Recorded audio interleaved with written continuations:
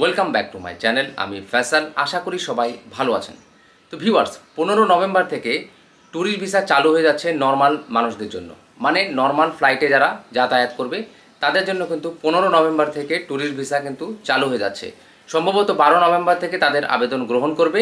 তারপর থেকে সতেরো, আঠারো বা ছয় কার্য দিবস পাঁচ কার্য দিবস পরে তাদেরকে ভিসা প্রদান করা হবে। তারপর তারা ফাইনালি নর্মাল টিকিট কেটে ফ্লাইটে চলাচল করতে পারবে ট্যুরিস্ট ভিসা নিয়ে ভারতে। তো অনেকেরই প্রশ্ন যে ফ্লাইটে যেতে কি কি ডকুমেন্ট লাগবে? কি কি ডকুমেন্ট লাগবে, কি কি লাগবে না?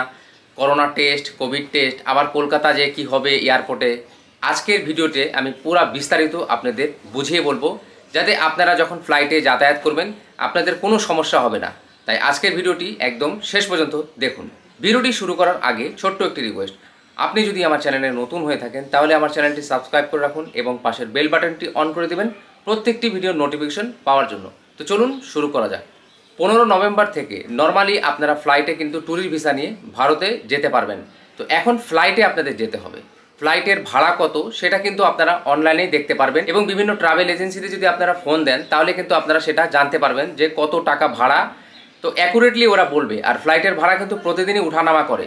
সেক্ষেত্রে এই মুহূর্তে আমি যদি বলি, তাহলে সেটা আজকের রেট হবে।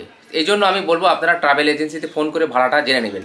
এখন আসি, কোন ডকুমেন্ট আপনাদের লাগবে ভারত যেতে? তো আপনাদের যে যে ডকুমেন্টগুলি লাগবে, প্রথমে তো আপনার পাসপোর্ট এবং আপনার ভ্যালিড ভিসা ভ্যালিড ভিসার পরে আপনাকে একটা কিউআর কোড যুক্ত করোনা নেগেটিভ টেস্ট করতে হবে। মানে কিউআর কোড যুক্ত আপনাকে করোনা টেস্ট করতে হবে। মানে করোনা টেস্টের যে রিপোর্ট থাকবে সেই রিপোর্টের মধ্যে কিউআর কোড থাকা লাগবে। বাংলাদেশের সরকারি হাসপাতাল থেকে করোনা টেস্ট করলে পনেরোশো পনেরো টাকা চার্জ নেয় যারা বিদেশ যায়।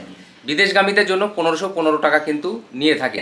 তো সেই রিপোর্টে কিন্তু কিউআর কোড থাকে। তো যখন আপনি স্যাম্পল দেবেন, স্যাম্পল দেওয়ার পরে আপনি কিন্তু রিপোর্ট আট থেকে দশ ঘণ্টা, বারো ঘণ্টার মধ্যে কিন্তু পেয়ে যাবেন।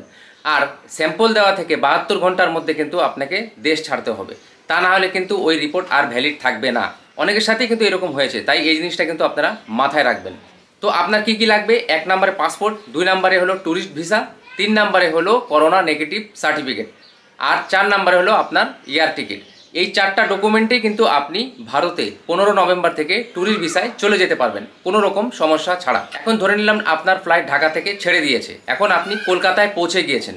কলকাতায় পৌঁছানোর পর কি হবে?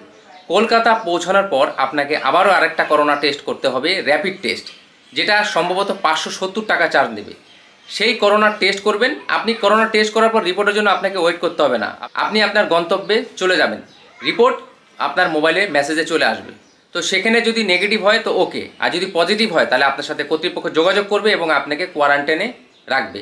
তো ফ্লাইটে যেতে আপনাদের দুই, দুইবার করোনা টেস্ট করতে হবে। একবার বাংলাদেশ থেকে বের হওয়ার সময় এবং ভারতে পৌঁছানোর পর ভারতের এয়ারপোর্টে কিন্তু আরেকবার করোনা টেস্ট করতে হবে। এটা কিন্তু আপনারা মাথায় রাখবেন। তাহলে আপনাদের টোটাল দুই, দুইবার করোনা টেস্ট করতে হবে ফ্লাইটে যেতে। আর পনেরো নভেম্বর থেকে যে আপনারা ফ্লাইটে যেতে পারবেন, সম্ভবত সেটার আবেদন বারো নভেম্বর থেকেই জমা নিবে। কারণ পনেরো অক্টোবর থেকে যে ট্যুরিস্ট ভিসাটা চালু হয়েছিল চার্টার প্লেনদের জন্য চার্টার ফ্লাইটে যারা যাবে, তাদের কিন্তু ভিসার আবেদন বারো অক্টোবর থেকে নিচ্ছিল। তাহলে সেই হিসাব যদি করি, তাহলে বারো নভেম্বর থেকে কিন্তু পনেরো নভেম্বরের যে ভিসার আবেদন যারা নর্মালে যাবে, তাদেরটা কিন্তু বারো নভেম্বর থেকে নেওয়ার কথা। তো আশা করি ভিডিওটি আপনাদের ভালো লেগেছে। ভিডিওটি যদি আপনাদের ভালো লেগে থাকে, তাহলে একটি লাইক করবেন।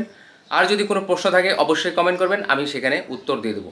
আজকের ভিডিও এখানে শেষ করছি। দেখা হবে পরবর্তী কোনো ভিডিওতে। সে পর্যন্ত সবাই ভালো থাকবেন।